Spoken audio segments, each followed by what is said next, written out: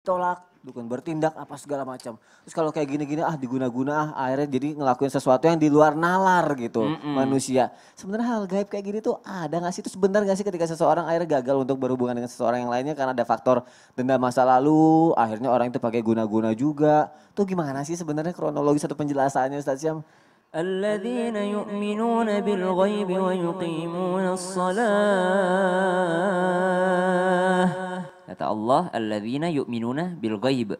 Kita juga diingatkan untuk beriman kepada sesuatu yang gaib. Yang gaib itu yang tidak kelihatan, termasuk Allah Subhanahu wa taala, para malaikat, surga, neraka itu semua termasuk yang seperti ini gitu. Ada ternyata sihir. Dalam eh, surah Al-Baqarah ayat 102, Allah Subhanahu wa taala dengan jelas di sini menjelaskan tentang sihir itu sendiri. فَيَتَعَلَّمُونَ مِنْهُمَا مَا يُفَرِّقُونَ بِهِ بَيْنَ الْمَرْءِ وَزَوْجِهِ Ternyata mereka memang ada sekelompok kejahatan yang yang namanya berkongsi antara kejahatan manusia dan jin. Mereka berdua berkongsi dalam melakukan satu kejahatan. Salah satunya seperti yang ada di video tadi. Dan Allah katakan fayata'allamuna minhuma ma yufarriquna bihi bainal mar'i wa zawji. Untuk apa? Untuk memisahkan antara suami dan istri, untuk memisahkan antara saudara dan saudari, untuk memisahkan antara anak dan ayahnya dan ibunya, untuk membuat benci benci, menimbulkan rasa benci di antara manusia, maka ini adalah di antara daripada ilmu sihir itu sendiri. Maka kalau ditanyakan ada nggak sih yang seperti itu, maka e, dalam bahasanya disebut sihir tafrik karena farak, ya kan, memisahkan. Karena Allah Subhanahu wa taala sendiri yang katakan dalam surah Al-Baqarah ayat 102 tadi. Fayata'allamuna minhuma ma yufarriquna bihi bainal mar'i wa zauji. Lalu apa yang harus kita yakini? وما هم بضارين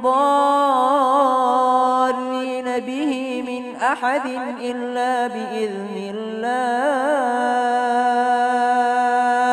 But, tapi jangan pernah yang namanya meyakini yang demikian bahwa mereka mampu melakukannya tanpa izinnya Allah. Jadi semua yang terjadi itu sihir itu bisa tembus dengan izin Allah Subhanahu wa taala. Tidak ada yang melebihi kekuatannya Allah Subhanahu wa taala. Semua dukun berkumpul, semua orang yang katanya pinter berkumpul, semua guna-guna berkumpul tidak diizinkan oleh Allah Subhanahu wa taala maka tidak akan pernah terjadi. Semuanya karena izin Allah. Jadi kalau misalnya nih, ini pelajaran penting hikmah yang luar biasa. Kalau misalnya kita terkena sihir, maka itu ada juga kita introspeksi dirinya. Kok bisa ya Allah izinkan saya terkena ini?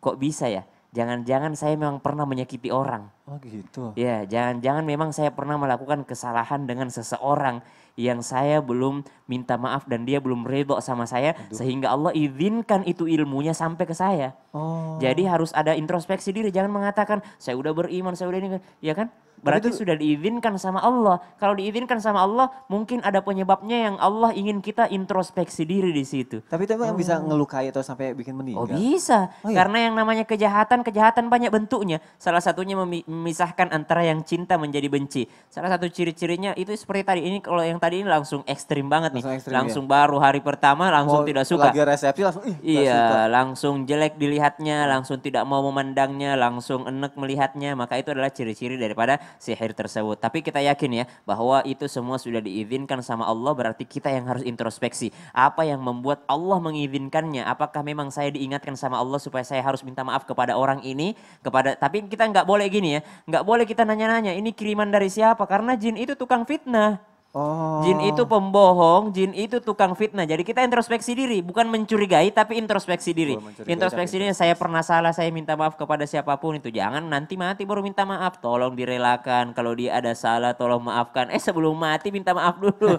sebelum meninggal dunia, minta maaflah kita sama orang-orang. Tapi ini ini memang sesuatu yang sangat uh, perlu kita imani atau yakini tanpa harus takut berlebihan karena semua adalah izin Allah Subhanahu wa taala. Berarti tidak perlu dicurigai tapi introspeksi diri dulu ya, iya. ya. Tapi Masya Allah terima kasih Ustaz ya untuk pelajarannya. Semua tidak terjadi tanpa kehendak Allah. Semua terjadi karena kehendak Allah Subhanahu wa taala. Semoga kita semua selalu dalam lindungan Allah Subhanahu wa taala ya. Nah, sekarang ada lagi pertanyaan yang mau aku tanya ke Ustazah Lulu. Ustazah sebenarnya dalam Islam baik laki-laki maupun perempuan ada standar nggak sih kalau ketika kita mantap menikah misalnya mungkin dari segi mahar, uh -huh. dari segi ekonomi atau kehidupannya itu ada standarnya nggak? Ke Belanda bawa ke dong-dong. Artinya? Ya ada dong. Ah, ada dong. Apa? Eh, jadi mau jelasin sekarang nih. Eh? Nanti aja kali ya. Nanti aja Karena ya. pasti panjang ya penjelasannya. Oh, jadi ntar aja Ya, deh. Nanti ya, janji ya. Iya, oke, nanti akan dijawab sama Ustazah dulu dijelasin sepanjang mungkin. Nah, nanti juga akan ada lagi nih pertanyaan-pertanyaan. Mungkin jamaah mau ngirimkan pertanyaan ke media sosial Islam itu indah. Dijawab juga lagi melalui segmen tanya dong Ustadz. Jadi jangan ke mana-mana, tetap di Islam itu indah. Jamaah, oh jamaah. Alhamdulillah. Alhamdulillah.